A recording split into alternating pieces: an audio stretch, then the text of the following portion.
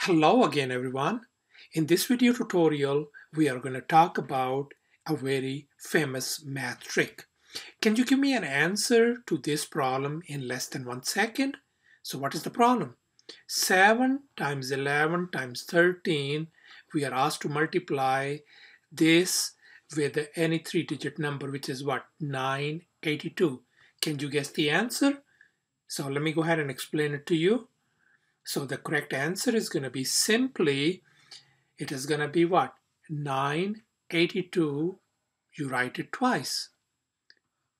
So you write what? 982 and 982 twice and that is your complete answer. Well, that's it.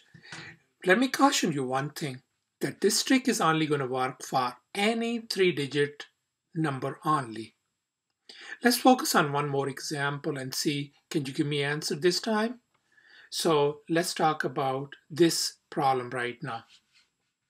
So once again, we are asked to multiply 7 times 11 times 13 by a three-digit number, which is what? 647. So our answer is going to be then what?